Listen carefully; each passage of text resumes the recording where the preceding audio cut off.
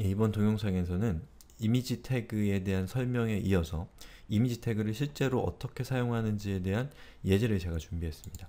자, JS 피드를 통해서 한번 실행을 시켜볼게요. 자, 링크를 클릭해서 이 JS 피드를 실행을 시켜봤고요.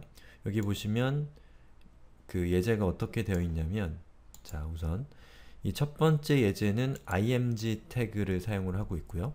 그리고 src로 이렇게 생활 코딩의 로고가 저장되어 있는 플리커의 이미지를 SRC의 속성 값으로 이렇게 부여하고 있습니다.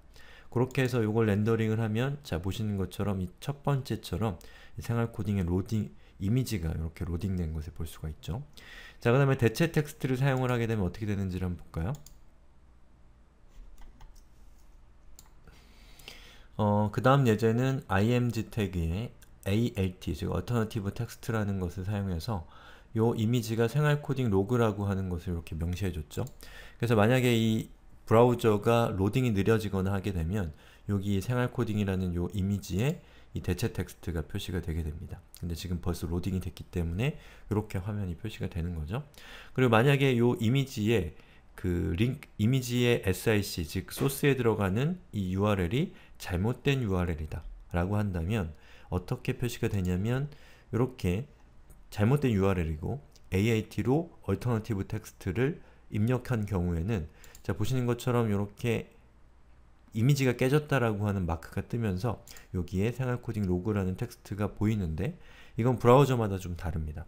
지금 보니까 제가 크롬, 크롬 같은 경우는 아무것도 표시를 안 하고 있고요.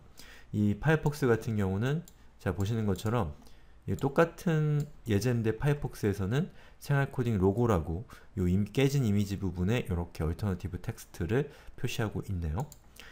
자, 그 다음에 이미지의 크기를 지정할 수가 있는데요. 여기 width에다가 50이라고 지정을 하고 어, 50이라고 지정하니까 이 생활 코딩이라는 텍스트가 원래는 100 정도 되는데 50 사이즈만큼 줄어든 거죠. 근데 여러분이 위스로 50만 그러니까 위스는 폭이잖아요. 폭만 지정을 하게 되면 높이는 그 비율에 따라서 자동으로 줄어들게 됩니다. 만약에 제가 여기다 height를 지정을 하면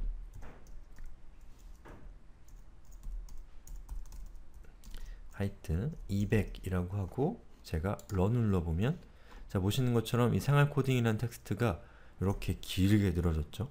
예, 그리고 만약에 제가 여기 위스로 50이라고 되어 있는 부분을 삭제하고 런 눌러보면 자 보시는 것처럼 높이가 높이 200에 맞게 폭도 자동으로 비율이 조정된 것을 볼 수가 있습니다. 자 이렇게 이미지를 사용한다는 거.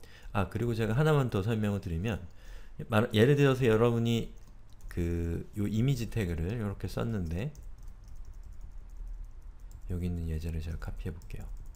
예제를 좀 추가해 보는 거예요.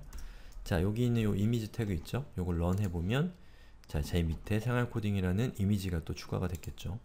자 그럼 요 앞에다가 제가 a라고 하고 href a 태그는 뭐였죠?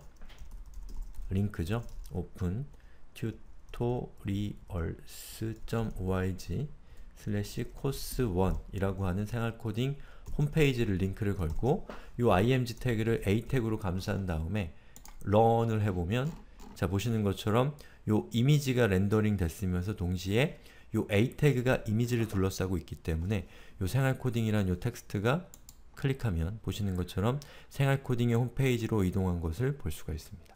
아시겠죠? 자 그래서 이 예제를 통해서 여러분들이 아실 것은 이 태그라고 하는 것은 서로 역할이, 역할이 있고 그 역할에 따라서 중첩해서 사용하면 이 중첩된 기능을 그 구성 요소에게 부여할 수 있다라는 사실을 여러분들이 이해하시면 됩니다.